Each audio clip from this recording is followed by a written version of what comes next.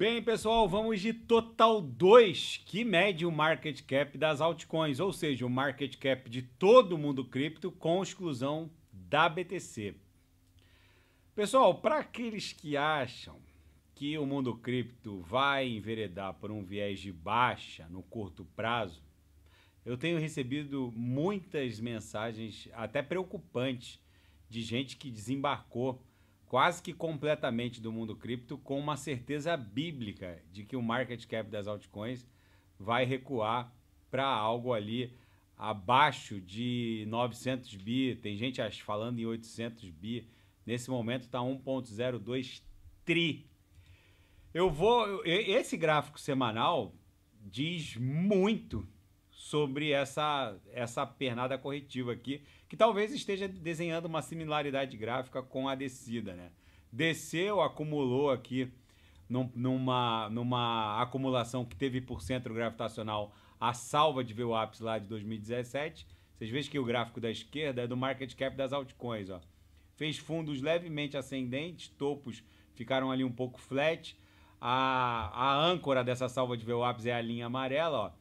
Acumula, o inverno cripto sempre acumula em torno da âncora da salva de VWAPs apoiada na máxima, na máxima anterior. Então vou despoluir aqui para vocês verem. Vou ver, olha a BTC aqui, o que é o gráfico da direita, ó. Vou despoluir para vocês verem que é, é esse meu indicador aqui é um reloginho suíço. Então vou despoluir aqui para vocês perceberem que a própria BTC fez a máxima lá de todos os tempos do último ciclo em 69, tom, tombou tombou e acabou acumulando numa figura que teve como centro gravitacional a âncora da salva de VWAPs apoiada na máxima do ciclo anterior. Qual foi o ciclo anterior a esse que gerou essa máxima? 2017. Então, o, eu, exatamente quando a BTC bateu 15 mil, eu falei para os senhores que era muito improvável, sob pena de revogar todo o padrão dos ciclos anteriores, que a gente perdesse esse patamar da, da salva de VWAPs. Tinha gente falando em BTC a 8 mil e rapidamente a BTC voltou para cima de 20 mil dólares. A mesma coisa aconteceu com o market cap das altcoins. E por que, que a, a, o, o, o mundo cripto ostenta esse, esse padrão? Esse padrão comportamental tem relação direta com a expansão da rede, com a expansão dos fundamentos, da base de usuários e a quantidade de riqueza que trafegam, que trafegam na rede, que respeita uma parábola de crescimento exponencial. O, esse inverno cripto aqui, ó, para BTC, acabou acumulando numa figura acumulacional que tinha por âncora, por centro gravitacional, a âncora, que nada mais era do que a âncora que de 2017, que ficou em 21 mil 397, por isso que eu reportei quando bateu 15 mil que ia voltar para 20 mil rapidamente, nada mais era do que o topo do ciclo anterior. Aqui, ó, vamos, vamos olhar para o market cap da, das altcoins.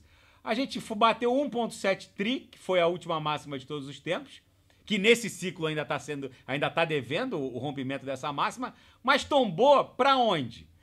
Para o patamar de, de 400, chegou, chegou a bater 400 e fez na mínima 470, 460 bi e acumulou numa âncora que tinha por máxima a que, que, que tinha por centro gravitacional a máxima do ciclo anterior, 2017-2018, cuja máxima bateu 400 bi. Então agora a gente vai avançar aqui. A, a próxima pernada de alta para o mundo, para o market cap das altcoins vai ser 1.7 tri. A gente fez 1, 2, 3, 4. A onda 5 vai levar para 1.7 tri. Aí o market cap das altcoins vai explodir, obviamente, por conta desse bull run que ainda está começando. Então tem gente que fala que nesse bull run a gente vai buscar algo em torno de 4 bi. Na minha leitura, aí é muito subjetivo. Na minha leitura, a gente vai bater entre, algo entre 4, bi, 4 tri e, e 10 tri. Pode até bater um pouco mais. Se ela ficar um pouco mais agressiva, poderia ir a 15 trilhões.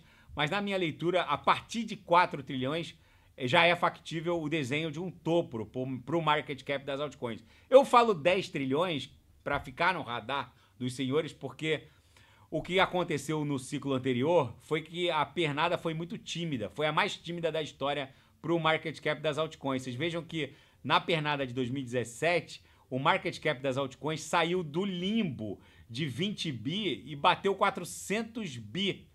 Saiu do limbo e bateu 400 bi. E na pernada de, de aí foi para o inverno cripto, acumulou e na pernada de 2021 bateu 1.7 tri, mas o topo anterior era 400 bi, então foi, foi a pernada mais tímida de todos os ciclos, e não por isso que eu volto a reportar. Com a tokenização dos ativos do mundo TradeFi, isso aqui pode eventualmente passar uh, ir além de um, de, de, de, um, de um patamar ali de 4, 5, 6 tri. Pode eventualmente até bater 10 tri, quem sabe até 15 trilhões. 15 trilhões já estaria muito esticado, porque teria que avançar para além do market cap do ouro. Todo ouro conhecido no planeta só vale 12 trilhões. Então isso vai ficar para o próximo ciclo, porque a tokenização de ativos do mundo TradeFi junto a ecossistemas descentralizados, na verdade só vai consolidar esse market cap no ciclo subsequente, ou seja, no halving de 2028. Mas na minha leitura, isso aqui facilmente vai bater 4 tri, podendo chegar a eventualmente 5, 6, talvez 8 trilhões. E o próximo fundo do próximo inverno cripto, que só vai acontecer depois dessa máxima de todos os tempos, que vai levar essa salva de VWAPs lá para um patamar cuja upper vai estar tá lá próximo de 7, 8, talvez 10 trilhões, no próximo inverno cripto a gente vai acumular numa âncora que vai se desenhar a partir da máxima de 2020-21. Então, o próximo inverno cripto vai encontrar como suporte algo em torno de 1,7, talvez 2 trilhões. Então, é uma insanidade as pessoas estarem desembarcadas de altcoins nesse momento. É uma absoluta insanidade. Porque essa salva de VWAPs vai, vai, vai explodir para cima. A âncora, que está aqui ó, em 400 bi, 400, 500 bi, vai pular para 1,7 tri. O market cap das altcoins vai lá para 4, 5, talvez 6 trilhões. E depois vai acumular nesse patamar. Então, o nosso próximo inverno cripto, que só vai acontecer depois de bater algo acima de 4 trilhões, vai acumular em torno de 1,7 tri. E o market cap das altcoins ainda está em 1,02 tri. Ou seja, gente, é uma bizarrice o sujeito estar tá desembarcado nesse momento. Quem não sabe em quais altcoins embarcar, é só clicar no Gemas Altcoin Alert, que, que, onde eu garimpei as 40 melhores altcoins com maior potencial de retorno que vai entregar ali numa média algo entre vezes 15 e vezes 20. Nada é garantido, é renda variável. Mas é muitíssimo improvável que não entregue. E outra, a BTC já desenhou o rompimento da última máxima de todos os tempos. Como a grana entra no mundo cripto pela BTC, as altcoins elas sempre são letárgicas. Num segundo momento, o, o, o capital migra para as altcoins. Então a gente bateu aqui nessa congestão acabou acumulando, a próxima pernada é para romper 1.7 tri. E tem gente falando em inverno cripto, o que é quase inacreditável. É nítido que a gente vai fazer uma promover uma mega explosão até 1.7 tri nas próximas semanas, porque foi respeitado religiosamente a mediana do canal de Keltner e agora, exatamente como aconteceu na queda, ó, bateu na bateu na base da nuvem, voltou para mediana e continuou caindo. Acumulou lá na salva, na âncora da salva de VWAPs, apoiado em 2000, na máxima de 2017. Aqui bateu no topo da. No, no, na, na upper da, do canal de Keltner, travou exatamente na mediana, do, na mediana do canal. Ou seja, isso aqui vai desenhar essa similaridade gráfica, só que agora para cima e buscar 1.7 tri. No estocástico não tem mais para onde cair no semanal. Foram um, dois, três, quatro, cinco corpos reais vendedores no semanal. Na projeção, as forças compradoras estão no total controle do market cap das altcoins. É uma insanidade o sujeito não estar posicionado em altcoins num momento como esse. Daqui a pouco eu volto, vou fazer Kusama, Avax. Quem quiser sugerir, é só colocar nas mensagens abaixo. Grande abraço, até daqui a pouco.